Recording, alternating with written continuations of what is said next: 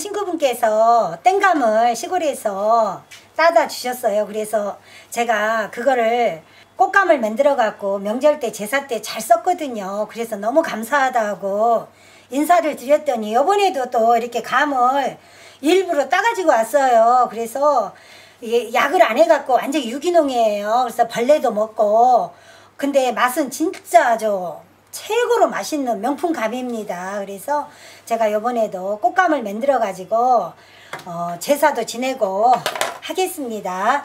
제가 저 나름대로 꽃감 만드는 비법을 가르쳐 드리겠습니다. 꽃감을 이렇게 하다 보면은 노끈으로 이렇게 묶으면은 될 것 같아서 처음에는 할 줄을 몰라가지고 노끈으로 했거든요. 그랬더니 그게 노끈이 미끌미끌 하니까 빠져요. 그래서 실 있죠. 이거 이불 깨매는 실 이걸로 이렇게 두 겹으로 두 겹으로 해서 이제 꼭지를 이렇게 매달리면 됩니다. 그래서 먼저 감을 먼저 어, 깎겠습니다. 이렇게 그리고 저는 이제 몰라가지고 감 껍질을 다 버렸어요 작년에는 그랬더니 그 지인분이 남편 친구분이 뭐라 그러냐면은 감 껍질을 말려갖고 먹으면 너무 맛있다고 올해는 깨끗하게 약도 안 했으니까 씻어가지고 어, 채반에다 말려서 감 껍질을 한번 드셔보시라고 저한테 그래요 그래서 이제 이렇게 제가 식초물에 담가가지고 깨끗이 담갔습니다. 그래서 깨끗이 씻어서 이렇게 해서 이제 이렇게 이렇게 매달리면 됩니다. 먼저 열심히 깎아 보겠습니다. 작년에도 이렇게 에, 사과 박스로 한 박스 정도 주셨거든요. 그래가지고 어, 꽃감을 만들었는데 너무 꽃감이 맛있더라고요.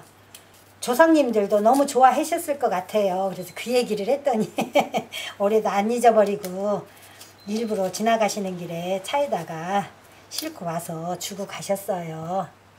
이렇게 이게 있으면 이렇게 매달리기가 쉬운데 없으면은 이게 좀 이렇게 실로 이렇게 동여매야 되거든요. 감도 이렇게 잎사귀도 있고 오늘 땄다 그래요. 따가지고 바로 저희 집부터 오셨네요. 이 땡감이 홍시가 되니까 그렇게 또 달고 맛있대요. 예.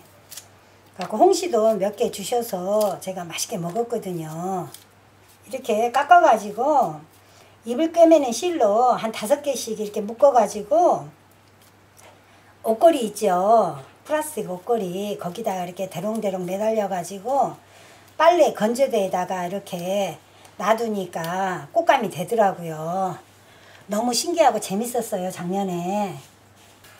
당신이 저기 그감좀 매달리는 거 좀 도와주세요.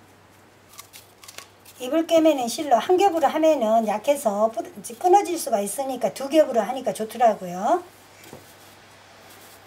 가지에다가 실로 이렇게 한 두 겹 정도 두 번 정도 돌려가지고 묶으면 됩니다.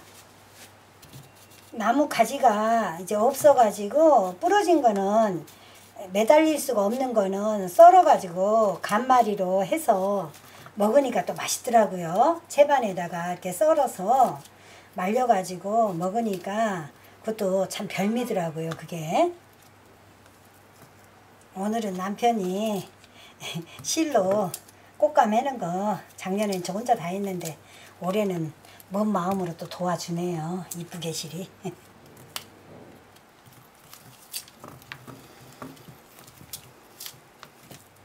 이렇게 나무 가지가 있으면 실에 매달리기가 참 좋은데 그거는 삼순이 욕심이고요. 그죠?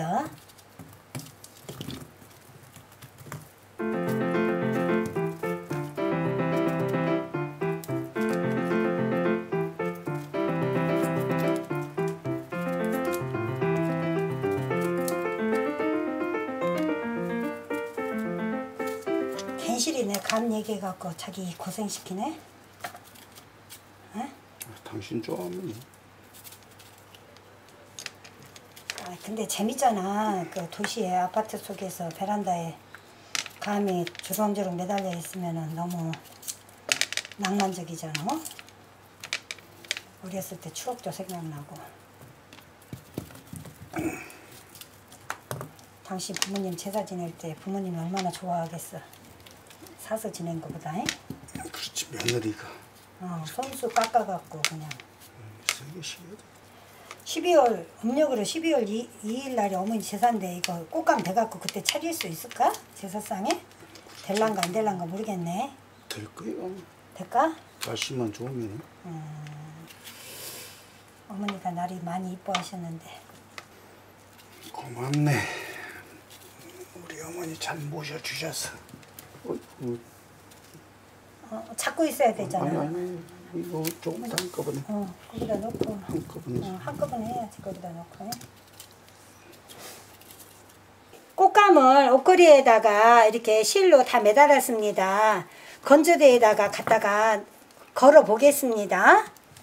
몇 개씩 했어 여기. 아, 일단 요거 하나 들고 이렇게 이렇게 됐습니다. 이렇게 건조대에다가 갖다가 걸어 보겠습니다. 무거우니까 하나씩 갖다가 옮기겠습니다.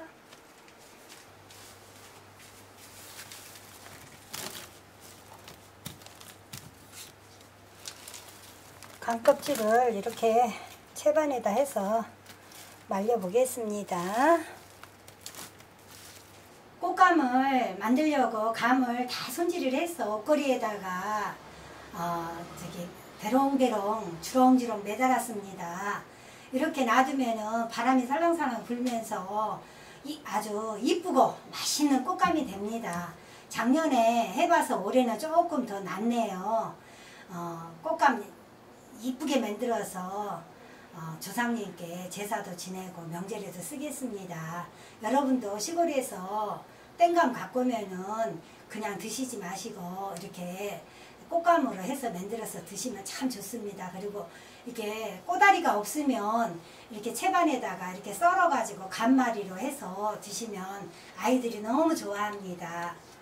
왼쪽에 있는 꽃감은 며칠 전에 지인분이 또 가져왔더라고요. 그래서 제가 너무 좋아했더니 또 나머지 감을 땄다고 오늘 또 가져왔어요. 그래서 이쪽에 건 조금 한 이틀 됐어요. 그래서 약간 이제, 이제 빨갛게 물들었고 요거는 지금 해가지고 색깔이 이렇습니다.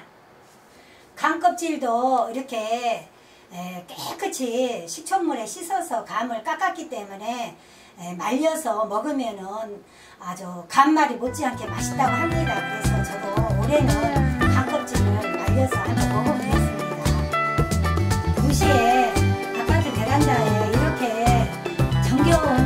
주렁주렁 매달린 모습을 보니까 너무나 풍요롭고